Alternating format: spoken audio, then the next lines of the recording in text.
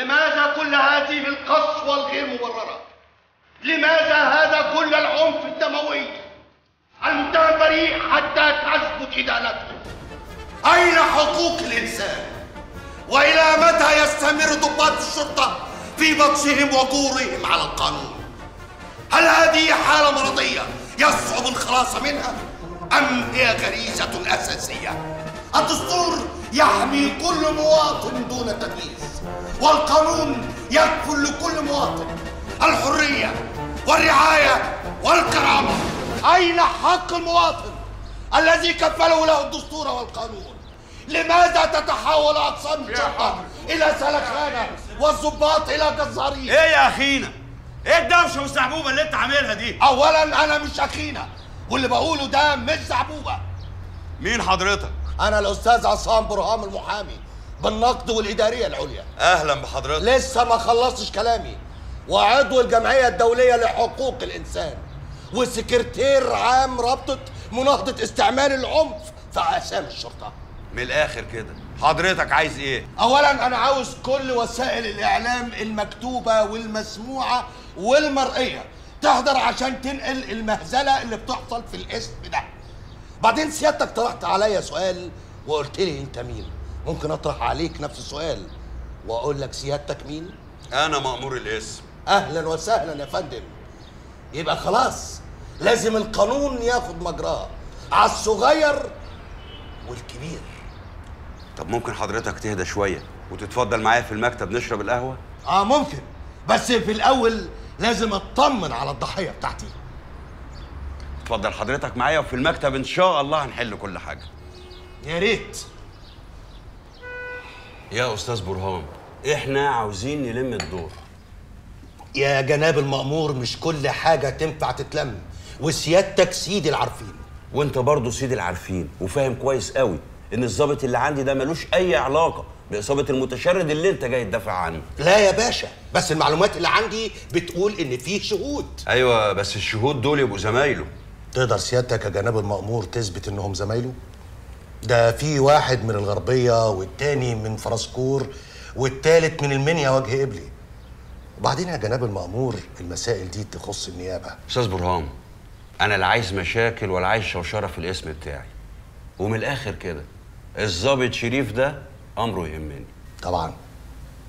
لازم يهمك يا جناب المأمور. مش ده ابن سيادة اللواء عاصم الحناوي مساعد أول وزير الداخلية؟ ده انت عارف كل حاجة. جراية يا جناب المأمور. القسوة اللي عند الحناوي الابن موروثة من الحناوي الأب. نفس الجينات. حضرتك مش فاكر الحناوي الأب واللي عمله في مظاهرات 77 كان ليه ضحايا كتير. طب بقول لك إيه؟ عايزين ننسى بقى الحناوي الأب ونخلينا في الحناوي الابن.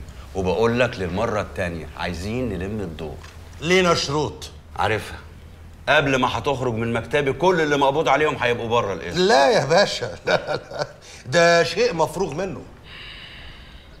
إيه طلباتك؟ اتفاقية سلام. نعم يا أخويا.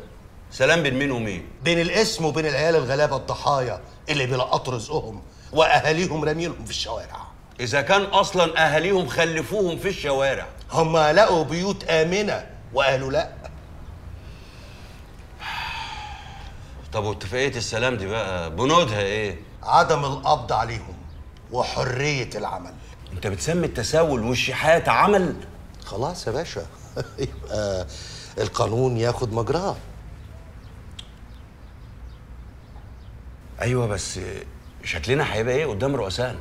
إحنا كده نبقى ما بنشتغلش خالص بنهمل واجبنا. لا يا باشا ما تشيلش هم خالص. إذا كنت جنابك عاوز كام بت على كام واد يكونوا عندك هنا ممكن في ساعة زمن سيادتك تقشر بس.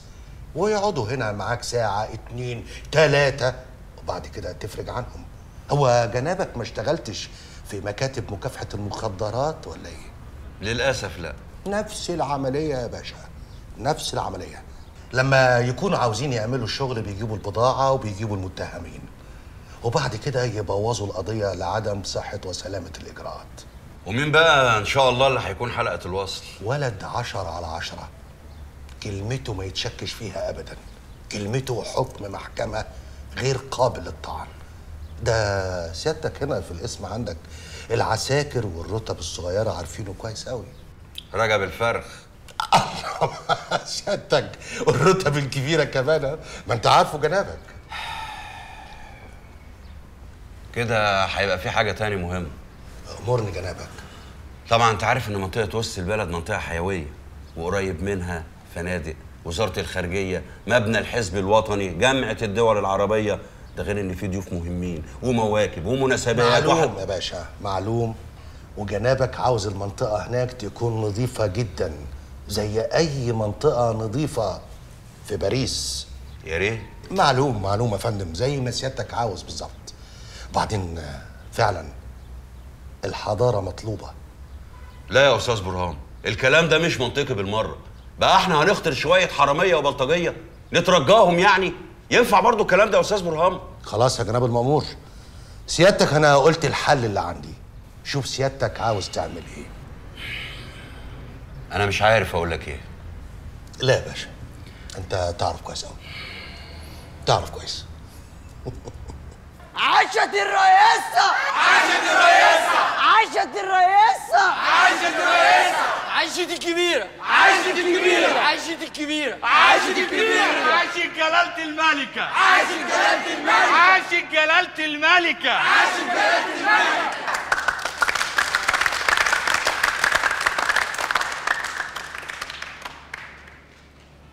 أبنائي وبناتي.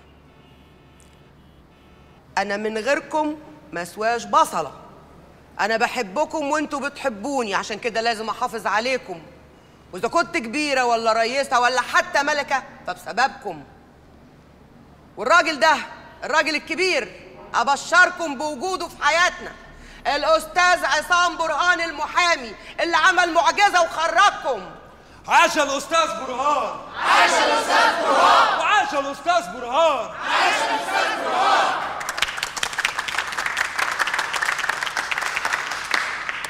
الحمد لله والشكر لله. بفضل ربنا والأستاذ برهان المحامي قدر يتوصل لاتفاقية سلام بيننا وبين الحكومة. عاشت الكبيرة. عاشت الكبيرة. وعاش الأستاذ برهان. عايزه أقول كمان إن في منكم أبطال وفدائيين مستعدين يضحوا بكل حاجة بالغالي وبالرخيص عشاني. زي البطل علي النمس. انت فين يا علي؟ خدامك يا رئيسة. اتعورت جامد يا ولا؟ الله وكيل زي الفل. دي لعبتنا وياما خدنا دروس فيها. اسمعوا بقى الخبر السعيد. أنا نويت أكمل نص ديني. نويت أتجوز.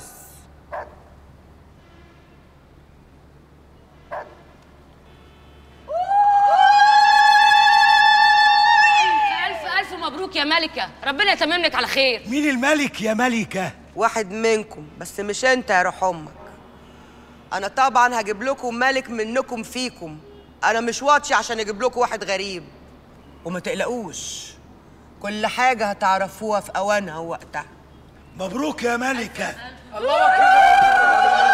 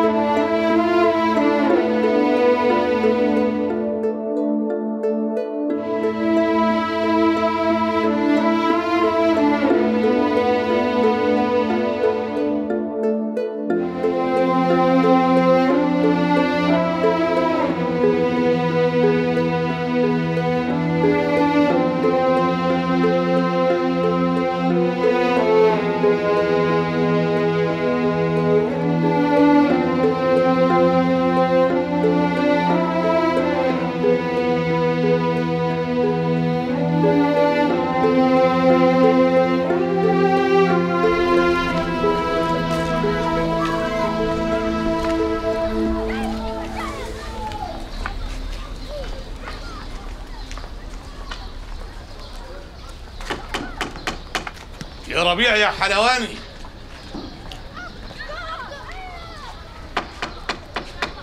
يا ربيع يا حلواني.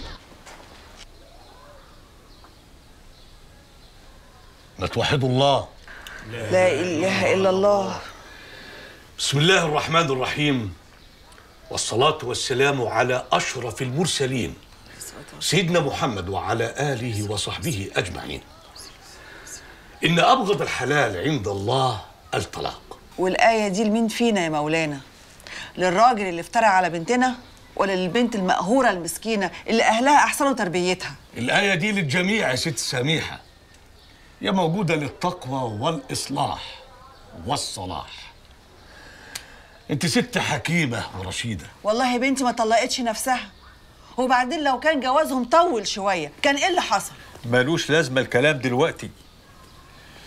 يا مولانا حضرتك كنت موجود في الأول وكويس برضو إنك تبقى موجود في الآخر. يا عم ربيع إحنا مستعجلين ليه؟ إحنا مستعجلين للآخر ليه؟ لا أول ولا آخر. حسب ما سمعت من معتمد الطلاق ما حصلش. معتمد ده مالوش كلمة عشان حد يصدق كلامه. لا إله إلا الله. يا ست سميحه أنت كده بتهيني جوز بنتك وفي بيتك. وهو ما هانش بنتي. لما طردها في نصاص الليالي هي دي شوية؟ يا شيخ فتحي قدرها زي ما بتقدر دقنك. لا حول ولا قوة إلا بالله العظيم. استغفر الله العظيم لا حول ولا قوة إلا بالله. ده يا ست أم عاطف. اعملي لي اعتبار. اعتبارك محفوظ وعلى الرأس من فوق يا مولانا. طيب إيه رأيكم بقى إن أنا رايد تكون في القعدة دي نوارة؟ أيوه هو ده بقى كلام عن إذنكم. اتفضلي. جرى يا ربيع هو إيه حكايتك. هو عاطف ابنك ده طالب في الجامعة ولا بيشتغل معاك؟ ولا الأيام دي يعني شغال في توة ما قالكش على اللي عمله؟ قال لي. وإيه رأيك فيه؟ أنا مبسوط. الله. ده أنت بايع بقى. اللي تشوفه يا مولانا. يا سيدي إذا كنت أنت بايع إحنا لا يمكن نبيع. تعالي يا بنتي. أهلا أهلا أهلا ست العرايس. ازيك يا نواره الله. بقى كده يا نواره الشيطان يضحك عليكم ويخش الشقة بتاعتكم ويبرطع. أيوه يا سيدنا الشيخ. أنا حسب ما سمعت من معتمد إن هو رمى عليك يمين طلاق بالتلاتة. لو خرجت من باب الشقة ما ترجعهاش تاني. مش ده اللي حصل ولا في كلام تاني؟ حصل يا مولانا. وخرجت من الشقة. الحمد لله. كده؟ يبقى مفيش طلاق حصل مفيش طلاق حصل؟ إزاي يا مولانا؟ في هذه الحالة يا ست سميحة يقع الطلاق عندما ترجع نوارة مرة أخرى إلى بيت الزوجية. وطالما ده ما حصلش يبقى هي لسه على ذمته ومراته. الله يفتح عليك يا مولانا. إيه ده؟ أنا مش فاهمة حاجة. أنا فاهمة ياما سيدنا الشيخ يقصد إن الشقة دي بقت محرمة عليا صح؟ مظبوط يا بنتي مظبوط. يعني انت كده هتسكني في شقة جديدة؟ وبلد جديدة كمان. بإذن واحد أحد بنتكم هتطلع من بيتكم هنا على الطيارة على السعودية عدل. إن شاء الله. وبإذن الله لما ترجع يبقى لها بيت جديد وشقة جديدة. بس أنا مش عايزة أسافر السعودية. انت كده يا بنتي تبقي بتخالفي شرع ربنا.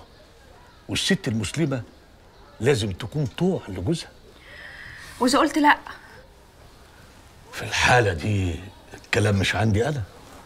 يتكلم معتمد. لا حول ولا قوة إلا بالله. هسافر ومش هطلق. الله! ده إحنا كده دخلنا في موال ملوش آخر.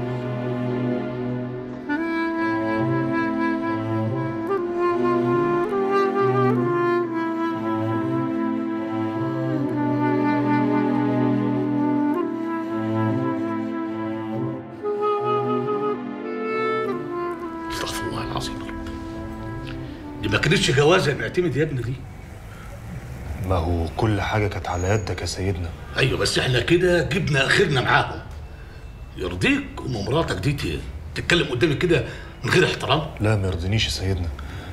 بس يعني هعمل لها إيه؟ عن بعض العلماء قال أنا أخاف النساء أكثر مما أخاف الشيطان.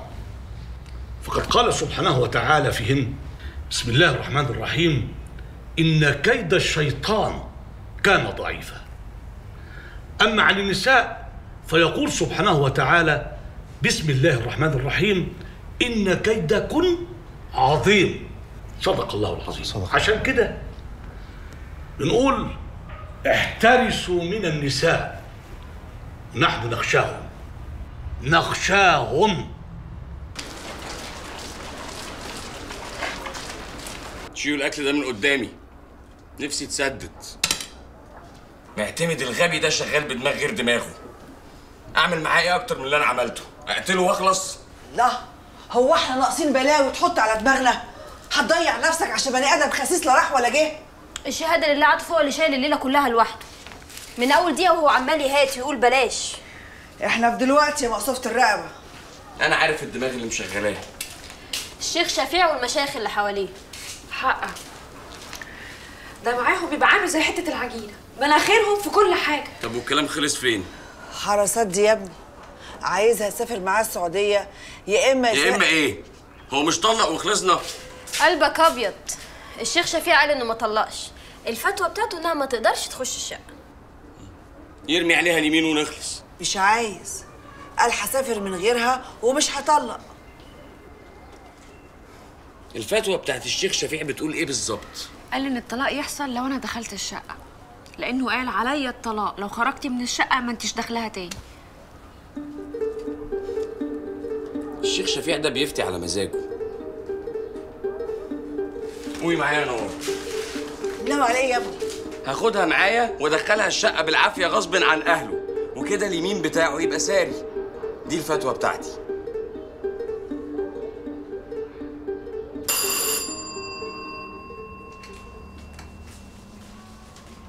طب ما تفتحي مش تخصصي. مساء الخير. مساء النور. أنا جايبة العشاء لزميلتكم الجديدة اللي وصلت النهارده. الأنسة مبسوطة. آه هي اسمها مبسوطة فعلا؟ آه مبسوطة. والله هي جت ودخلت أوضتها على طول ومن ساعتها ما خرجتش منها. وده برضه اسمه كلام. تلاقيها يعني مكسوفة منكم ولا حاجة. هو أنا هفضل كده هو واقفة على الباب. مفيش يعني اتفضلي ولا حاجة؟ لا إزاي؟ اتفضلي طبعا اتفضلي. اتفضلي. أنسة مبسوطة. خالتك بعتلك معايا العشاء يا زينة الصبايا. هي فاني أوضة دي. خالد زميلتنا الجديدة بعت لها العشاء. آه على فكرة. اسم مبسوطة ده طلع بجد. هي ولا خالتي؟ لا هي. زميلتكم الجديدة اسمها مبسوطة.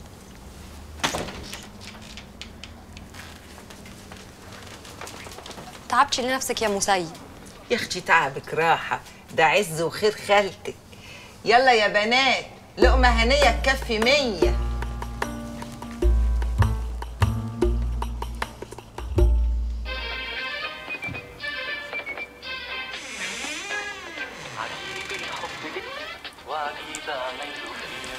يعوضنا في شباب عن أيام؟ حزينة عجيب الحب إيه؟ إيه؟ مش قاعدة يعني تتفرجي عند التلفزيون؟ ما بصراحة أنا ورا بقى زهقت منه. بعدين مين اللي نفسي يعني يتفرج على التلفزيون والبيت حاله حال. لا لا لا فعلا. معاكي حق. الواحد نفسه بتيجي على عماد عبد الحليم.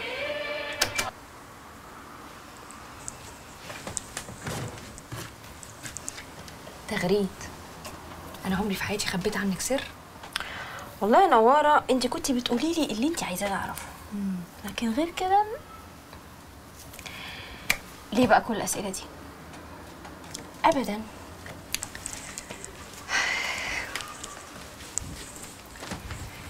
الا قولي لي يا تغريد. هو انت عملتي إيه في مشوار امبابة بتاعك بتاع امبارح؟ قابلت الحاجة صالحة؟ وعملتي إيه مع الحاجة صالحة؟ عملت اللي أمك قالت لي عليه يعني. وبعدين دي حاجة تخص ماما. لو عايز تعرفي روحي اسأليها. وزيها كده الحاجة صالحة. تمام الحمد لله زي الفل. سلم عليكي. على فكرة هي ما تعرفش إن انت سبتي جوزك ورجعتي بيت أبوكي فخلي بالك يعني. عمرها ما هتعرف ابدا. مش جايز حد يقول لها؟ محدش يقدر يوصل لها. ليه يعني؟ عشان الحاجة صالحة ماتت من ست سنين يا تغريد. وأمك نسيت. وأبوكي خلاص من كتر الهم اللي شايله ما بقاش ياخد باله من أي حاجة. إنما أنا رغم الهم اللي شايلاه باخد بالي. إيه الموضوع يا تغريد بالظبط؟ ها؟ ما تفهميني. بقولك إيه؟ ما تخليكي في حالك وتشوفي هتعملي إيه في مصيبتك. عيب كده يا تغريد أنا أختك الكبيرة. بصي أنا خدت الإذن من ماما. ورحت عشان أقابل الجدع كان عاوز يتكلم معايا. وماما وافقت؟ أمال يعني أنا خرجت إزاي؟ مم. ومين بسلامته؟ اللي في بالي؟ كشاف النور. عاوزة حاجة تاني؟ عملتوا إيه تغريد؟ إيه الرخامة دي؟ هو أنا كنت سألتك عملت إيه مع فحل الجاموس بتاعك؟ عارفه يا تغريد أنا لو ماما كانت سمحت لي أعمل زيك كده كان يمكن حظي يبقى غير كده خالص. بس انتي جوازك حصل خطف في خاطر قصدك غدر في غدر. آه نصيب. معلش يا حبيبتي. خلي بالك من روحك. ربنا يوفقك ويطلع جدع ابن حلال. يعني انتي خالتك ساكنة قريب مننا؟ بعدنا بتاعت عمرات طب وما قعدتيش معاها ليه؟ دي باين عليها مقتدرة وكريمة وطبيخ خزين. أصل هي عندها ولاد صبيان كبار وشقة يا دوبك على قد الحق آه كده المحكمة اتنورت. بس انتي شكلك مش غريب عليا. زي ما أكون شفتك قبل كده وشفتك كتير كمان. جايز. انتي قلت لي بلدك إيه أصلا؟ أنا أصلا من مصر. ما كلنا من مصر. يعني أنا مثلا من شبين الكوم وأنا بقى من الصعيد. جرجة أنا بقى إسكندرانية بس مش من إسكندرية نفسها يعني من الدخيلة. ووفاء من أرياف المنصورة ودلال من الفيوم. أنا أصلا من طنطا. انتي متأكدة إن إحنا ما اتقابلناش قبل كده؟ انتي في كلية إيه؟ تدبير منزلي. إيه ده؟ هو في كلية اسمها تدبير منزلي؟ آه في كلية اسمها تدبير منزلي. دي كلية يعني ولا معهد؟ اللي هو فين يعني؟ اسمعوا يا بنات. أنا ولا قدكم ولا ليا قيمه وسطكم. ومش تلميذة ولا بعرف أقرأ ولا أكتب. وبعدين؟ كملي كملي. وماليش خالة من اصل أنتوا تعرفوا المطربة الشعبية ست نعناع آه دي اللي بتغني يا شوق يا شوق؟ آه هي دي. أنا بقى شغالة معاها في الأفراح. في الكورس يعني ولا إيه؟ معاها في كل حاجة. وهي اللي دبرت لي السكن ده عشان أبقى جنبها. آه. كده المحكمة اتنورت قوي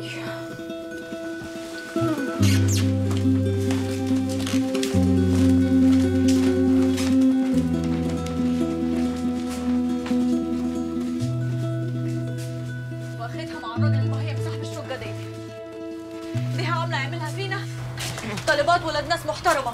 يقعد معاهم صبية علة ده غير الغش والتزوير. هو مش قال إن هي طالبة جامعيه أنا من أول ما شفتها وأنا قلبي مش مستريح لها. وعارفة ومتأكدة إن أنا شفتها قبل كده. بس مسيري أعرف أنا شفتها فين. وتتعبي نفسك ليه؟ زي ما دخلت علينا تخرج من وسطينا. ويا دار ما دخلك شر. صبية علمة طب لو أهلنا عرفوا هيقولوا علينا إيه؟ لا وأكيد العلمه فتكات بتاعتها هتيجي تزورها هنا. ده اللي ناقص كمان. إحنا نلم بعضينا كده ونروح لراجل صاحب الشقة نقول له كده عيب وكده ما يصحش. إحنا طالبات جمعيات وقلة أدب إن هو يسكن معانا صبية علبه وإيه نعناعه دي؟ علمة ولا عفريتة ولا رجاسة حتى. الأنسة اللي قاعدة بره دي لازم تمشي دلوقتي في التو في اللحظة. ها. قلتوا إيه؟ موافقين بس إزاي؟ دي أكيد معاها عقد إيجار. ولو ما هو كده يعني عامل لها فضيحة بتاعت التدبير المنزلي دي. ملك يا سلوى وقف لخشمك ليه؟ كان المصيبة بعيدة عنك يعني. والله عشان مش عاجبني اللي بيحصل ده. ليه؟ يعني أيامتكم قامت على البنت مرة واحدة عشان بس قالت الحقيقة؟ بالعكس بقى أنا شايفاها بنت شجاعه جدا. محاضرة فلسفية يا بنات. أنا غلطانة إني خدت رأيها. لا بقول لكم إيه بقى؟ مش قوي كده يعني. البنت اللي بره دي ما كناش نعرف عنها حاجة. يعني لو كانت كذبت علينا كان ممكن تبقى بنت الأكابر بالنسبة لنا. وبعدين يعني عمالين تنهشوا في العلمة العلمة. وانتوا لسه ناشين الأكل اللي هي بعتاه. إيه؟ تقصدي إيه يا فيلسوفة؟ أقصد اللي يخلينا نقول نقعد معاها ولا ما نقعدش هو سلوكها معانا جوه الشقة. سلوكها وأخلاقها. ما بلاش حكاية الأخلاق دي عشان لو اتطبقت على الكل في ناس منظرها هيبقى وحش جدا. خلاص إحنا نديها مهلة. أسبوع واحد وما فيش غير. أهو نراقب تصرفاتها ونشوف أحوالها. ويا تقعد يا تغور في ستين داهية. طب أنا شايفة إنها ممكن تبقى مفيدة. مفيدة في إيه إن شاء الله؟ يعني نظافة الشقة. لا خلوا بالكم البنت بني آدمة زيها زينا. يعني مش هتكون بنت البطة السوداء. هي الشيوعية دي مش كانت موضة وخلصت ولا إيه؟ خلاص يا سلمى. إحنا هنستنى لحد الأسبوع ده ما يعدي.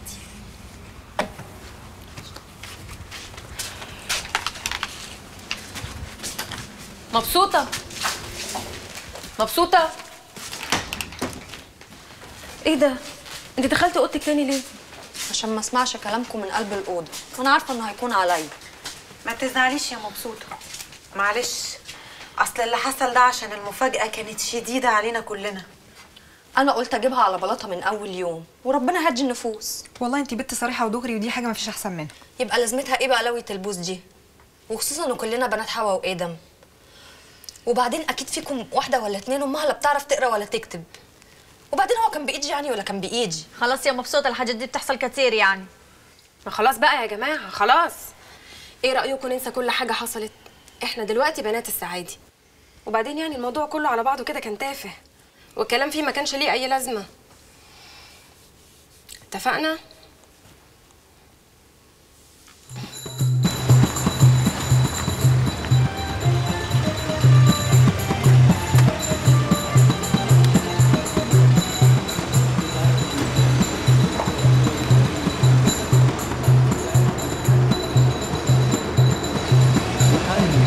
تجنن تجنن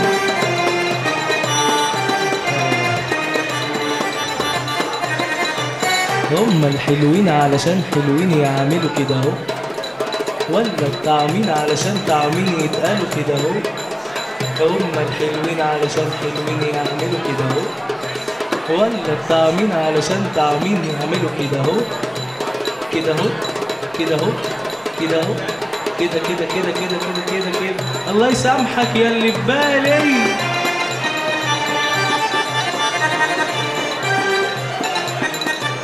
على مهلك حبني على مهلك أنا زيك عيني بتندهلك على مهلك حبني على مهلك أنا زيك روحي بتندهلك أنا ناسية وأعمل ناسية بس بص عيني بتندهلك. على مهلك سوق على مهلك. stop stop stop stop. فرامل.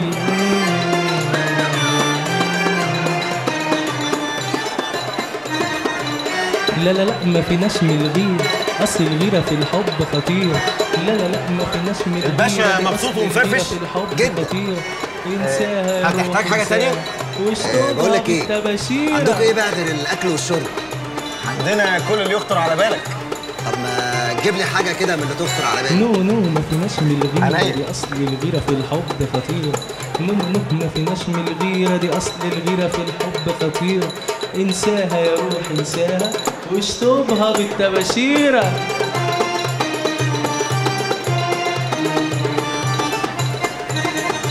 على مين يا ابني هتلعب؟ على مين تعمل مشاكل؟ على مين يا روحي هتلعب؟ قاعد لوحدك ليه؟ على مين يصحش تعمل كده. مشاكل؟ اديني ما بقتش لوحدي. إحنا برضه بنلعب. على عقلة وعشا ناكل. تمام؟ تمام. آه، تشربي إيه؟ ويسكي. ازازة ويسكي. ماشي.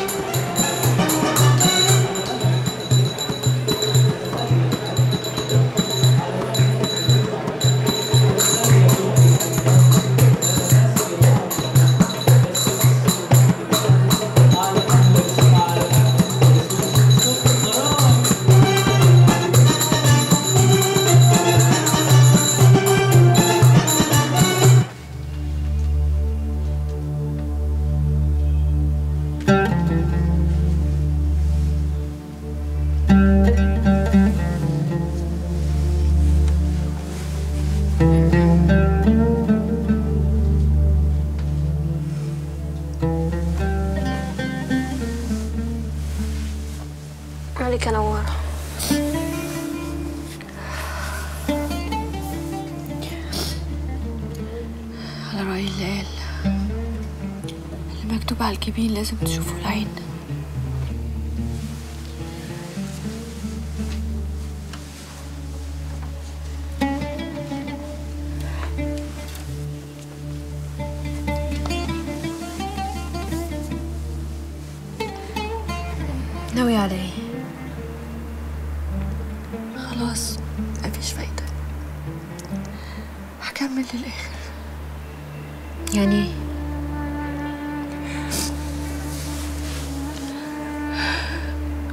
الجواز ولا ذل الطلاق يا تخريج دول أهلي اللي هم أهلي. نظرتهم ليا اتغيرت؟ بقيت عاملة زي الحمل والهم اللي شايلينه ليل ونهار. غير إننا عايشين في بلد فاضية بتشغل نفسها بالكلام. وأنا بقيت عاملة زي الكوباية المشروخة اللي مش ناقصة كلام.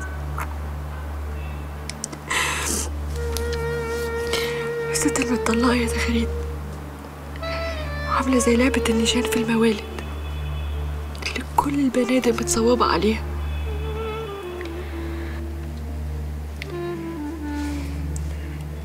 بصي يا نوارة انت استعجلتي في الجواز. عشان خاطري أنا. بلاش تستعجلي في موضوع السفر. جدع ده ما عملكيش حساب وانتي وسط أهلك. هيعملك حساب في الغربة؟ هو يعني الستات اللي سافروا مع جوازهم السعودية ولا غيرها؟ كان حصل لهم إيه يعني؟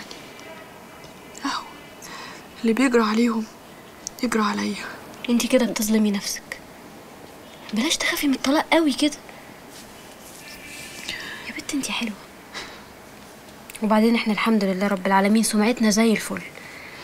أمك ست طيبة وأبوكي راجل صالح وعاطف كل الناس بتحبه. إن شاء الله إن شاء الله. ربنا هيرزقك باللي ينسيكي همك ويسعد لك أيامك. خلاص يا تغريد. محدش عارف بكرة مخبي إيه. أهو. اسافر بلد جديدة وأشوف ناس جديدة. والله أنا حسب ما بسمع هناك محدش بيشوف حاجة خالص وخصوصا الستات.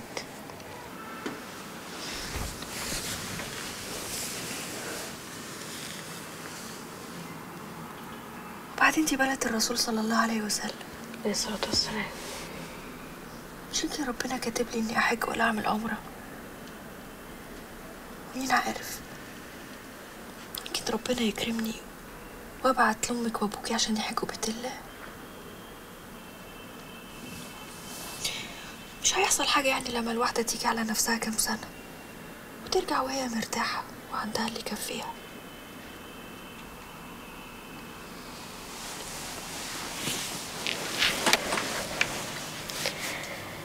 يا هبلة. هبلة ليه عايزة أفهم؟ عشان الكام سنة اللي بتقولي عليهم. دول أحلى سنين عمرك يا نوار. سنين الفرحة والبهجة. البني آدم إن كان راجل ولا ست بيبقى عامل زي حجر البطارية. كل يوم كهربته بتنقص. حتى لو مشتغلش هو بقى مقدر ومكتوب. طب قولي لاخوك يا عاطف. اشمعنى عاطف؟ عشان هو أخو البنات وهو الحماية وهو اللي عاملنا هيبة وقيمة وكرامة. وعشان كده عمري ما هاخد رأيه أبدا. أنا مش فاهماك يا نوار. وعشان اللي ناوي يعمله بعيد خالص عن الهيبة والقيمة والكرامة.